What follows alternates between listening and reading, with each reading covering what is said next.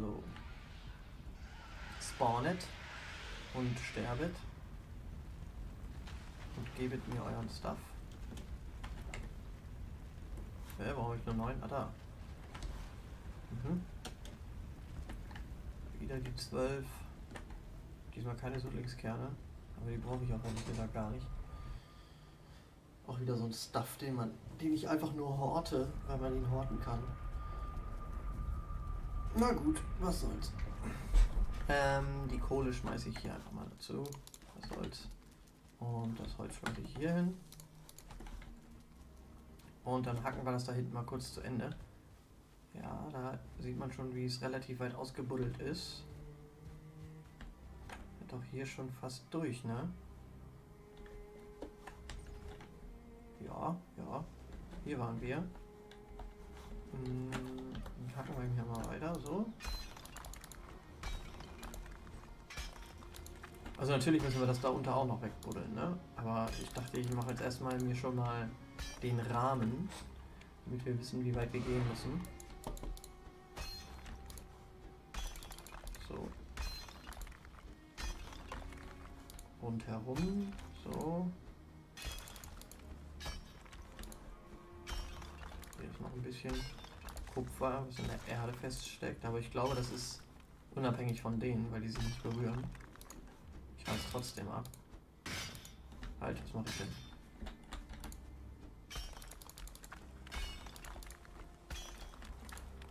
So. Machen wir uns Arbeit. Arbeit, die wir sowieso nachher verrichten müssen, wenn wir hier alles umbuddeln, wie schon gesagt. Deswegen macht das schon Sinn, das so rumzumachen, auch wenn es jetzt gerade vielleicht umständlicher aussieht. In der Summe ist es sinnvoll.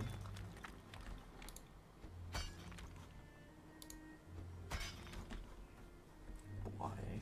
Mal. Ich will mal kurz einen Überblick verschaffen. Das ist eine zweite. Das sind, das sind zwei. Oder? Die hier und die hier. Oder gehören die zusammen? Ich weiß es nicht. Ähm, ich buddel mal hier weiter. Kann ich hier noch weiter runter? Nee, ne? Ich bin auf dem Plateau. Ja. Das heißt, wir werden wahrscheinlich sowieso diese hier wegkloppen müssen. Aber gehen wir erstmal rundherum. Eins nach dem anderen. Unterkunft, ja. Tolle Unterkunft.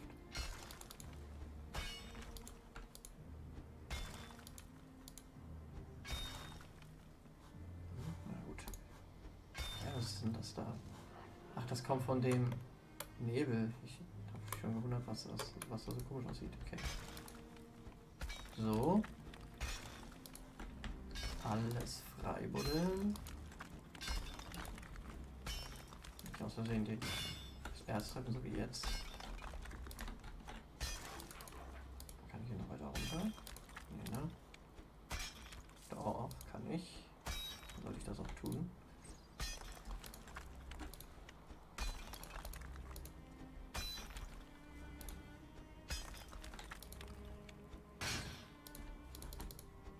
Na komm. Dann hau ich hier mal eine Delle rein.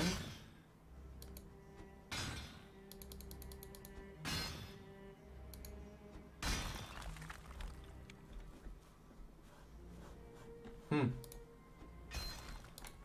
Weiß nicht, warum da jetzt so ein Riesenloch rausgebröckelt ist. Äh, oder ob das vielleicht schon vorher war und ich es einfach nur nicht gesehen habe. Hä? Nein, hier geht's nicht tiefer.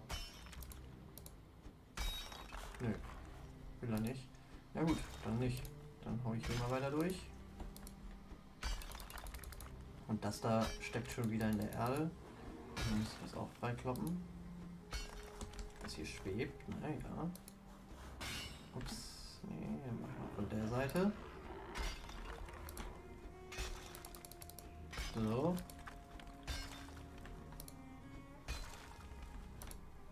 Müsste der auch frei schweben? Schwebt er nicht frei? Hm. Ist ja sozusagen hiermit noch verbunden. Also durch, was weiß ich, das Game Object ist noch connected, aber ähm, man sieht es nicht. Vielleicht. Ich buddel das hier mal noch alles ein bisschen weiter aus. Eigentlich müsste das doch reinkrachen. Nach meinem Verständnis.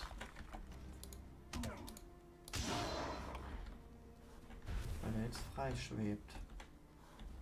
Hm. Machen wir hier mal weiter. Vielleicht muss alles, also weil das ja 1 war, muss alles tatsächlich weggeklopft äh, werden. Aber ich glaube nicht, oder? Weil das ist ja jetzt eigentlich eigenständig. Wundert mich, dass der noch schwebt.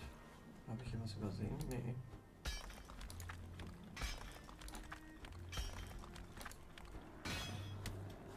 Hier ist auch noch Kupfer. Gehört wahrscheinlich auch zu der Quelle. Das ist im Bedrock, das kommt weg. So. Und hier weiter runter.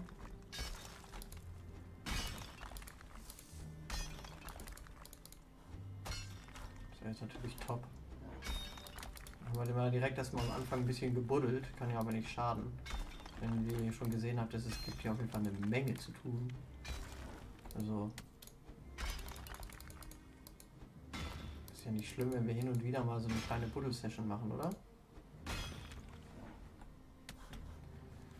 So, dann hier lang. Ah, die sind auch miteinander ineinander sozusagen gespawnt. Die beiden Quellen. Das hier ist noch nicht frei. Hier weiter. So. Und hier noch. Zack. Ums Eck.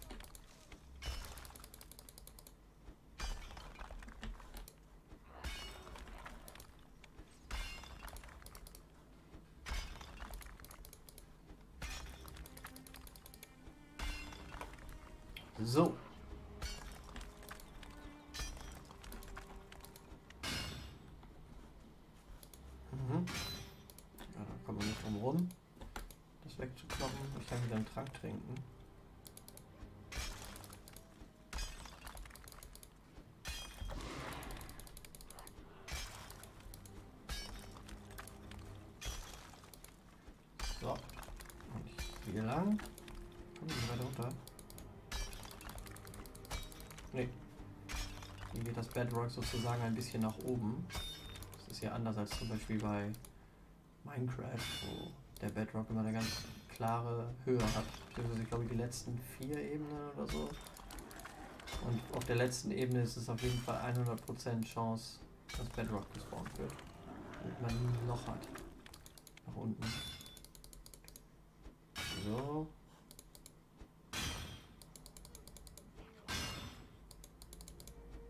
Komm schon. Den mache ich mal auch weg, sicherheitshalber. Ja, das hier müsste doch zum Beispiel jetzt eigentlich einkrachen, oder nicht? Wenn ich jetzt diese Kante weghau, kracht das dann ein? Ich probier's mal.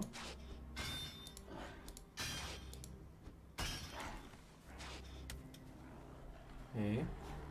Immer noch nicht. Warum, warum halten die jetzt? Das schneide ich nicht ganz.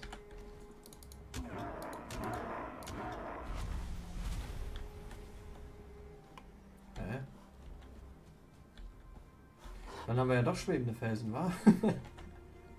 Oder wie jetzt? Aber warum schweben die? die? Also, ich dachte jetzt, die krachen ein, weil sie nichts Stabiles mehr haben. Ne? Also, oder wenn ich den Beispiel den hier mal wegkloppe.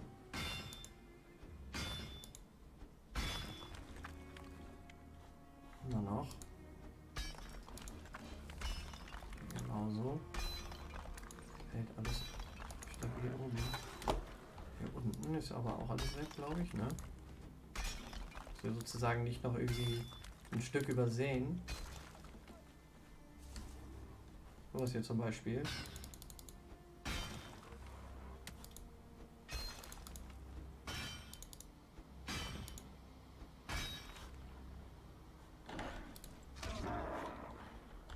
Hm. Ich weiß es nicht, was das soll. Ich hatte gedacht, dass das wird jetzt eigentlich uns Arbeit abnehmen, aber so haben wir es uns jetzt eher kompliziert gemacht. Ne? Ich lasse die aber einfach erstmal. Wir haben sowieso genug Kupfererz. Ich schmeiß mal alles weg. Außer Kupfer. Ich will das auf jeden Fall mitnehmen. Äh, nee, das ist Krautzwergenmüll. Ähm, ich würde sagen, dann reicht das mal ein Gebuddel. Wir wollten ja nur ein bisschen Kupfer holen. Hier liegt noch was. Alles mitnehmen. Huch. Ausdauer natürlich. Auch noch Kupfer. Weg mit dem Stein, weg mit dem Holz. Kupfer, so. Mhm. Ja, dann haben wir allein hier schon 37. Äh, scheitert wieder an der Kohle, ne? Dann nochmal. Äh. Ja, shit. Jetzt habe ich mir eine Kuhle gebaut, wo ich nicht mehr rauskomme. Ich kann natürlich einfach wieder über dieses diesen Ecktrick.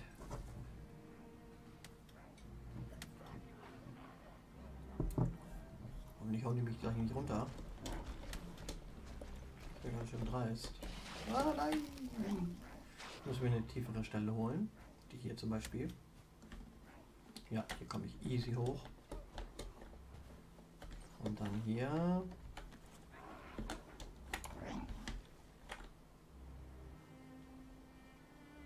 Muss ich leider killen, sonst kann ich nicht pennen gehen, ne? Du hältst die Schnauze und du hältst die Schnauze.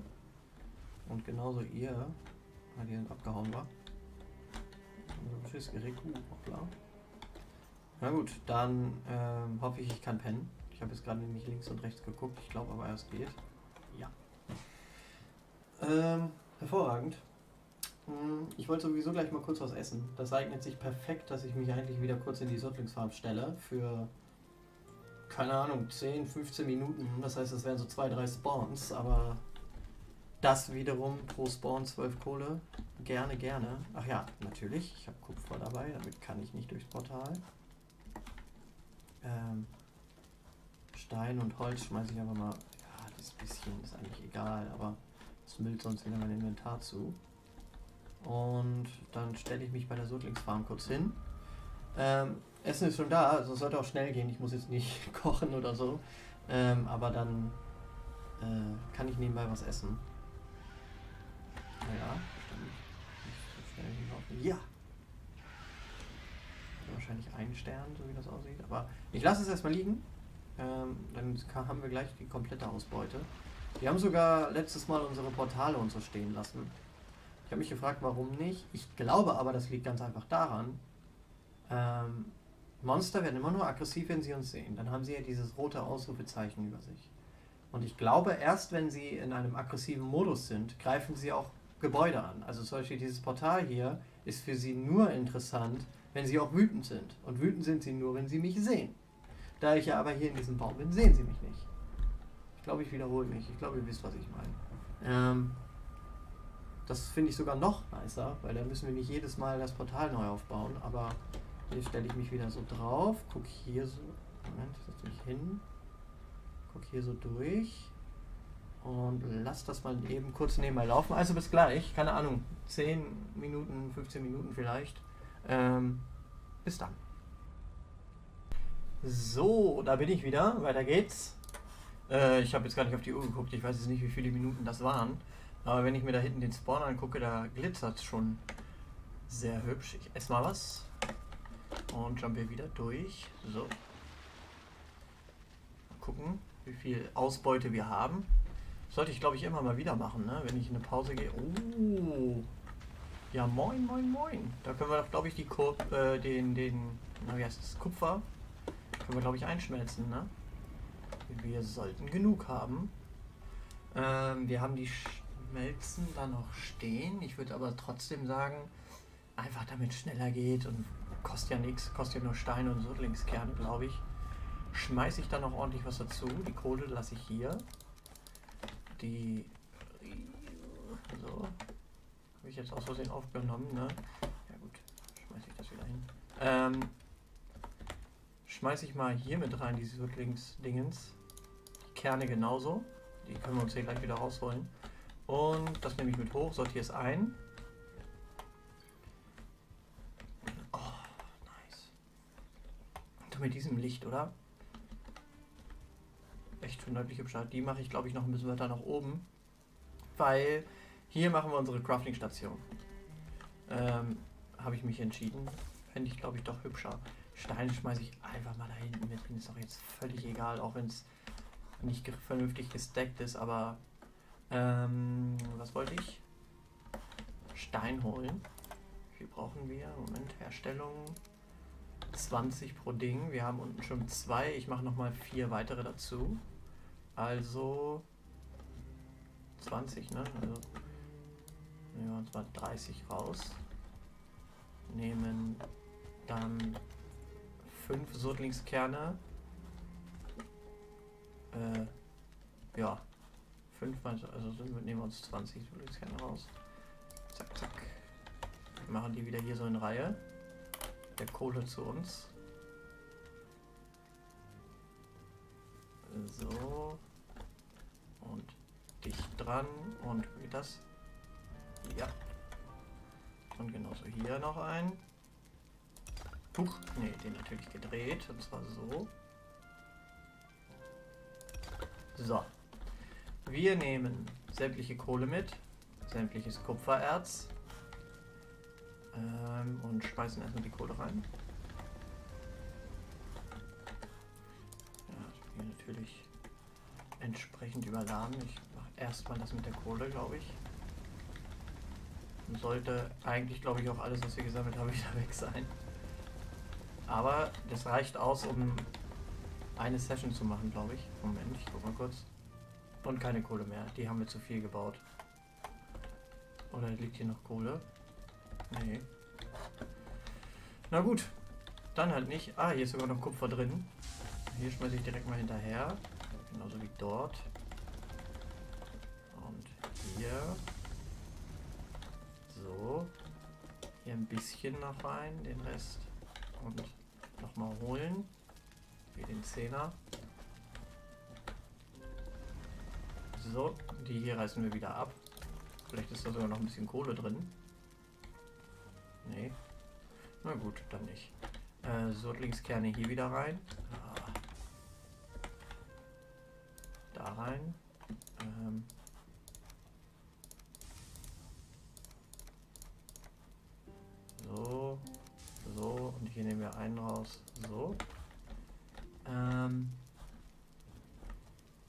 Weiß ich nicht. Reicht das im Kupfer? Ich hoffe mal, ne? Äh, ich schmeiß das Erz hier mit zu. Und den Stein packe ich nach oben zu dem Haufen. Ah, ich kann mal pennen gehen.